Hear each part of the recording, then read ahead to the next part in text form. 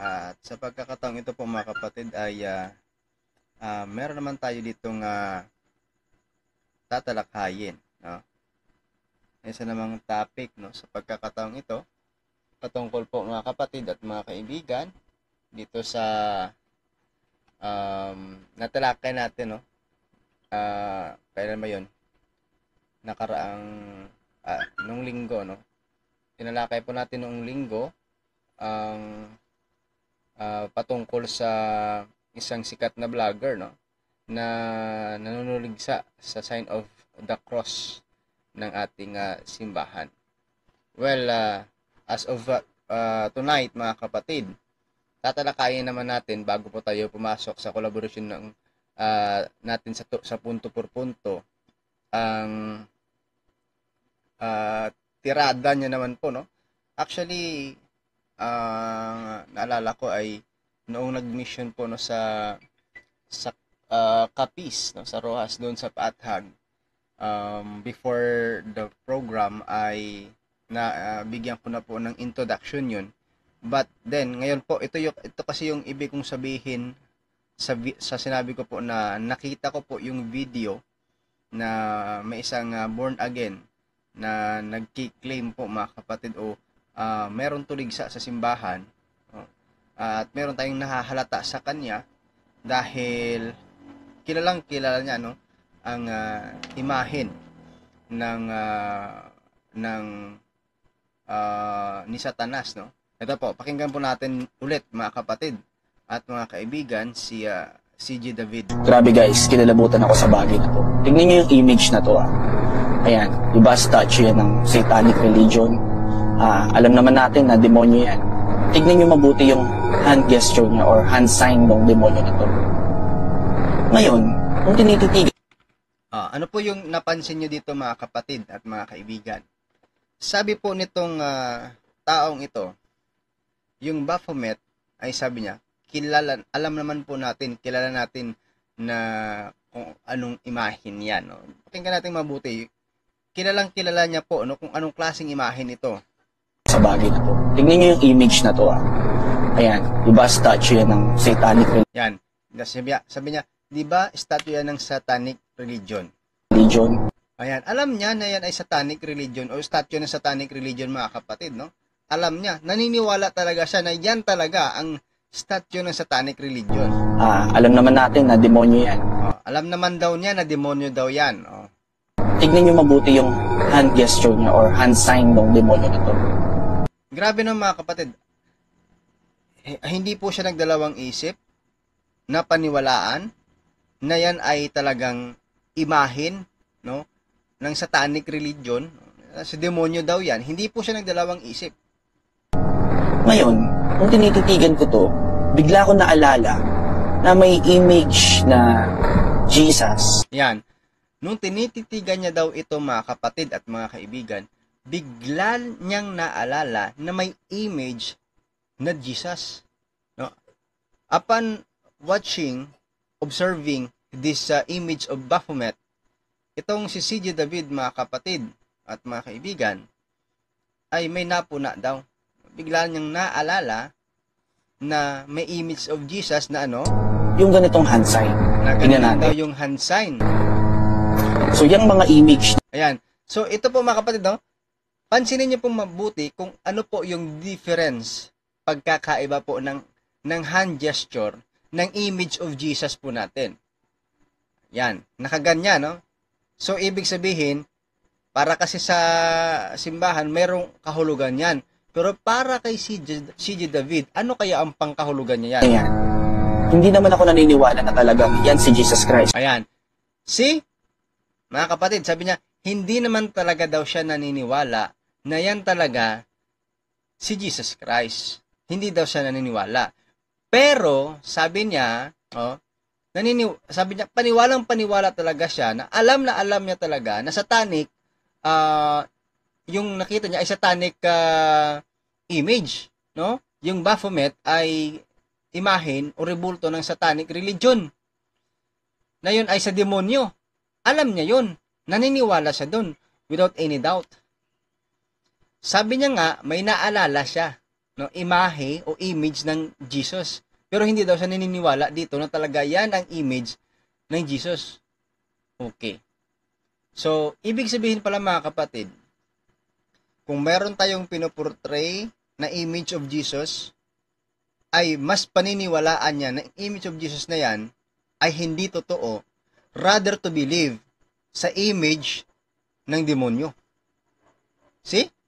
Without any doubt, naniniwala siya ng Baphomet ay image or imahe ng demonyo. Grabe. So, mas malaki ang uh, pagtitiwala niya na yun ay talagang totoo, na image yun ng demonyo. Without any doubt, no? Paano niya kaya nasusure na ganun talaga? Uh, even to sa atin, sa atin mga kapatid, hindi niya pwedeng ibato yan dahil we have basis. That's why meron tayong mga secret images. No? Like the, the, the secret image of Jesus na nakaganyan po yung kamay na hindi po nauunawaan ng born again na ito kung ano ang kahulugan. That is the symbolism of blessing. Nagbe-bless po yan. Ngayon, you will com- compare it to the Baphomet. Sige nga, pakinggan natin siya mga kapatid because malinaw sa Bible na huwag kang gagawa ng imahen o Ayan. Uh, sabi niya, malinaw daw mga kapatid sa Bible, no, na huwag kang gagawa ng imahen. Tapos, ito ay uh, dinagdagan niya po ang konteksto ng sinasabi niyang malinaw daw sa Bible, no, na huwag ka daw gagawa ng imahe. But, it is very clear dito mga kapatid na ang context ay hindi po naaayon no sa totoong kahulugan nito. Because dinagdagan niya po no o literato. Ewan ko lang anong version yung binasa niya na wag kang gagawa ng lira ng, ng imahin o literato daw. O litrato na nakikita sa langit, sa lupa o sa tubig. Yan, na nakikita daw sa langit, sa lupa, sa tubig. Ito po mga kapatid at mga kaibigan ang mangyayari kapag ang isang taong nagbabasa ng Biblia ay inaakala niyang alam niya ang lahat. Inaakala niyang marunong talaga siya. Inaakala lang po yun. Yan talaga ang mangyayari sa pinakadelikadong bagay na ginagawa ng nagkukot ng talata sa Biblia without any further investigation. Ayan. So, very sure na siya. Pero hindi siya nagbabato ng talata o ng uh, teksto mismo sa talata kundi siya mismo gumagawa ng konteksto. Okay? Na pinagbabawal daw. At ang ini-emphasize niya ngayon dito mga kapatid, na yung image of Jesus. Take note ha, naniniwala siya na ang, ang Baphomet ay imahe ng demonyo. At sabi niya, mayroon siyang nakitang image of Jesus, at kalaunan, sinasabi niya, hindi naman daw niya pinaniniwalaan talaga ng image of Jesus Christ yun.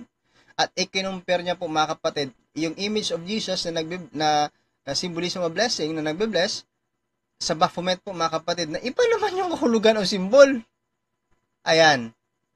Kaya nga, uh, kung talagang uh, tapat ka, no, kapatid, sa pagsaliksik sa katotohanan, eh, wag mo naman sanang mamaliin ang mga imahin ng simbahan. Kasi yan ay sagradong imahin. At babastusin mo lang. Especially yung pinoportray niyan ay ang Panginoong Iso Kristo. Pero ikaw anong ginagawa mo? Sinisiraan mo ngayon sa social media. And I don't want you to continue that. No? I am here para pigilan talaga ang kasinungalingan mo, kapatid. At ang kamalian mo sa pagkakaunawa no, sa Biblia. Kasi maling-mali no, napaniwalaan mo na dahil nakabasa ka lang ng part of uh, the Bible, then you cut it, memorize it. Tapos yun na yun. Pakinggan po natin siya mga kapatid. At pinagbabawal ng Diyos ng Biblia ang mga rebulto o imahen. Yan, pinagbabawal daw ng Diyos ng, o ng Biblia ang pagpapagawa ng rebulto o imahen. Yan po ay analysis ng isang uh, nagbabasa ng Biblia na hindi po talaga nakakaunawa. Bakit po ako nakakasabi niyan? Hindi naman po ako sa- nagsasabi na ako'y marunong talaga eksperto. Pero according po kasi sa mga scholar, ay disagree po sila sa paniniwala ng taong ito na nakabasa ng translation ng Bible and nag-interpret ng kanyang sarili na dahil nabasa yung ah, sinasabi na wag maggagawa daw ng, ng larawang inanyuan, oh, ay bawal na daw yung mga rebulto at mga imahin. Definite. Wow. So, hindi po yung definite, mga kapatid. So, actually, kung babasahin po natin ng full context ang Bible, without any biases, makikita po natin yung ah, totoong kahulugan ng kanyang mga pinagsasabi. Sige. Kung hindi talaga ako naniniwala na si Jesus ito. Sa video na ito, hindi ko Yan. Hindi daw siya naniniwala mga kapatid na si Jesus ito. Yung ah, image of Jesus. Actually, that is just an image. No? Yan ay nagpapa ah, alala, no, nagsasalarawan lamang sa Panginoong Heso Kristo. We never say that ang rebulto, ang imahen ay talagang si Jesus o ang Panginoong Jesus, but ang kanya mismong isinasalarawan o ipinapaalala ay ang Panginoong Heso Kristo. Hindi siya naniniwala mga kapatid na mayroong pagpapaalala sa imahe ng Panginoong Heso Kristo, pero naniniwala siya sa Baphomet. Wow, grabe. No, kayo na pong bahala mag-isip dyan at mag-comment. Ano nga ba? Bakit, ano ba talaga ang dahilan? Bakit mas naniniwala siya sa Baphomet kaysa sa image of uh, Jesus? layunin na i-offend lahat ng mga Catholic o Ayaw daw niyang i-open ang lahat ng Catholic. Actually, kapatid, we are not offended. No? But you are damaging our faith. No? Kasi, nagsasalita ka na hindi mo naman talaga alam ang konteksto ng pananampalatayang katoliko. No? Kaya nga, bago ka sana nag, ah, naglagay dyan ng video mo sa social media, ay inalam mo sana yung totoo. Dahil yan ay nagsasalarawan o nagpapaalala sa Panginoong Heso Kristo. Katulad ngayon dito kapatid, I know, ikaw ang nasa video. Ikaw ang nasa video. Pero ang tanong, ang nasa video bang yan ay ikaw yung present na ngayon? Na, na nandyan kung saan ka man naroroon? Like, if you have a picture, no? Kung meron kang picture sa yung ah, wallet, no? Nangangahulugan ba yan yung, yung na yung picture mo diyan sa wallet mo, no? Ay talagang ah yung ikaw yung yung presence mo talaga yon, yung yung presensya mong ikaw yon. Hindi, kundi picture mo yon na nagpapahiwatig na ikaw ang nasa larawang yon. In the same manner, ganun din po kapag merong ah, ah, crucifix, yan ay nag nagpapaalala sa amin mga Katoliko na ang Panginoong Kristo ay naipako sa krus, no?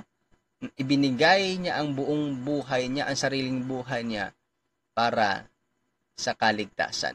If you don't believe that, so nasa sayo na yan. Orthodox Christian o mga ibang Christian religion na naniniwala sa mga imahe na ito si Jesus Christ. Pero, meron bang makakapagpaliwanag sa akin sa bagay na ito? Na, bakit ganyan yung hand sign? Ayan na nga. Pinapaliwanag ko na sa'yo and hope na paniwalaan mo. Yan ay blessing. Sign of blessing. Kung hindi ka niniwala, so nasa sa iyo na yan. Oh? Kung talagang totoong naghahanap ka o nag umihingi ka ng kasagutan, tanggapin mo ang sagot. Ayan. Tanggapin mo ang sagot. Kung talagang totoo. Eh pero kung ang hinahanap mo lang ay makasira ka sa pananampalatayang katoliko, well, wala tayong wala tayong ah, problema diyan. Sasagutin pa rin kita. Ayan. Kahit na paulit-ulit mo pang ah, gawa ng video ang bagay na ito. Ah, kasi medyo alarming na ito kasi matagal-tagal na ring video ito ni ah, CJ David mga kapatid at mga kaibigan na sinisiraan niya ang imahe ng simbahan. Yan talaga ay dahil sa kakulangan sa kaalaman. No? Kung totoo talaga na may alam ka kapatid na CJ sa Bible, eh sana hindi mo siya na i-misinterpret. Kasi knowing the Bible no, doesn't uh, mean that you will choose what you want. No? Tulad ng sinasabi po ni San Pablo kay uh, Timoteo na darating talaga ang araw na sila ay tatalikod sa pakikinig sa katotohanan bag at sila po ay maghahanap lamang ng tagapagturo na magtuturo sa kanila ng gusto lang nila. In now, if you truly care uh, sa tinatawag nating katotohanan, if you through if you you're you're genuinely ask question no? Kung sino makakapag-explain. Ayan yung yung uh, explanation diyan Nang kinikilala niyong Jesus. At bakit ganito din yung handsign ng satanic na rebulto na ito? magkaiba po kapatid no? Baka may diferensya ang mata mo. Magkaibang magkaiba po yung hand sign ng yung pinoportray. Ayan tingnan mo kapatid oh.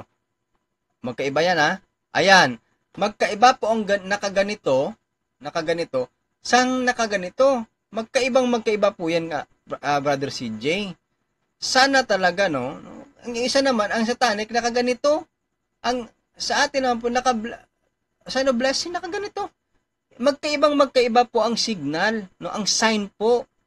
Kaya iba yung sinisimbolo ng satanic na rebulto iba din yung sinisimbolo ng ah, rebulto o larawan ng Panginoong Kristo magkaibang magkaiba at malayong malayo kapatid no? Kaya tigilan mo na yan no? tigilan mo na yung paninira mo sa simbahan dahil hindi maganda no? hindi siya healthy kapatid na sinisiraan mo palagi ang simbahan. Para saan no? I know that you are growing sa social media pero sana naman talaga maging tapat ka kapatid sa paninira mo maging tapat ka na kapag nalaman mo na nagkamali ka, sana ay matanggap mo kapatid. No? At ah, maling-mali talaga, no? Ikaw na mismo nagpapakita no, ng, ah, ng larawan. Yung, ah, yung sign of Baphomet ay very different po sa sign of ah, the image of Jesus na nag ah, ah, symbolize of blessing. Mali ka po, kapatid. Na rebulto na ito. Nawiwirdohan lang ako. So please, nawiwirduhan ka dahil nga hindi mo siya inuunawa. Sige, paki-explain. Kaya alam nyo sa akin, much better, wag na lang nating gamitin yung mga imahe na ito. At hindi natin dapat kilalanin na si Jesus ang mga image na ito. ayan. Para sa iyo kapatid, no? Dahil eh, eh, ikaw ayaw mong kilalanin ang Panginoong Kristo, ikaw lang 'yun. But according kasi sa uh, katuruan ng Biblia ay hindi po masama ang magkaroon ng imahin o larawan. Masama lang po ito mga ah, kapatid, no? Kaibigang uh, si J. David. Kung mali po ang konteksto na ginagamit mo. Kasi ito po mga kapatid ang palagi po nilang ah, ginagamit na talata, Exodo 24. Ulit-ulitin natin sa pagpapaliwanag ito. Huwag kang gagawa ng imahin ng anumang nilalang na nasa langit, nasa lupa o nasa tubig upang sambahin. Huwag po nating puputulin ang context. Ang sinasabi po dyan sa Exodus chapter 20 verse 4, may sinasabi pong upang sambahin. Kapag nagpagawa ng larawan, no, ng imahen, rebulto, whatever, sa langit, sa lupa, sa tubig, upang sambahin, that is against to the first commandment. And it also stated in the Catechism of the Catholic Church, idolatry is forbidden. No, idolatry is um, a violation against the first commandment. Meron pong katuruan sa simbahang ganyan si J. David. No? At yan sana ang hinahanap mong katotohanan. Ni hindi yung naninira ka na nga, mali-mali pa yung kontekstong pinapasa mo, mali-mali pa yung, yung pagkakaunawa mo sa Biblia. Basahin yung whole context. Ang pinagbabawal po, hindi ang pagkakaroon ng mga imahen, bagkos ang pagsasamba sa mga imahen. No? Yan po ang mali. Yan po ang ah, bawal, yung sambahin. Kasi, kung pinagbabawal po, so, it will illogically, no? Illog- ah, logically, magiging, ah, magiging ah, against po ang ang Panginoong Diyos sa kanyang sarili. Oh, eto basahin natin yung ah, 25 18 hanggang 20 ng Exodo. Lalagyan mo ng dalawang kerubing ginto ang dalawang dulo nito. Tig-isa sa magkabilang dulo. Ihinang ang mga kerubing upang ito at ang luklukan ng awa ay maging iisang piraso. Gawin mong magkaharap ang dalawang kerubing na parehong nakatungo at nakabuka ang mga pakpak sa luklukan ah, sa nilulukuban ng luklukan ng awa. Kung ipinagbabawal dito kapatid, eh bakit nagpagawa pa ang Panginoon? Imahin ng ah, nilalang na nasa langit. If we continue to read the context, ilalagay mo ito sa ibabaw ng kaban na kinalalagyan ng dalawang tapyas na bato. Ang kautosang ibibigay ko sa iyo. Sabi niya, doon tayo magtatagpo sa luklukan ng awa sa pagitan ng dalawang kerubin, doon ko ibibigay sa iyo ang kautusan ko sa mga Israel. During the time of Moses, no, naging object pa, ay yung object na yon, no, naging ah, kasangkapan yung imahe ng kerubin para po mga kapatid, mga kaibigan, na ano, na makita, no, na mag, nag magkausap ang Diyos at si Moses. Therefore, it is definite, hindi ipinagbabawal ang pagpapagawa ng imahin. Ano yung bawal? Yung pag-uunawa sa konteksto na mali. Ayan po mga kapatid ha. So it's very clear na hindi po masama ang pagkakaroon ng imahin. Sana po mga kapatid at mga kaibigan, nakadagdag po tayo sa inyo pong ah, mga kaalaman patungkol po sa pananampalatayang katoliko. Ayan, sa Diyos po ang lahat ng papuri, pagpapasalamat. Amen. At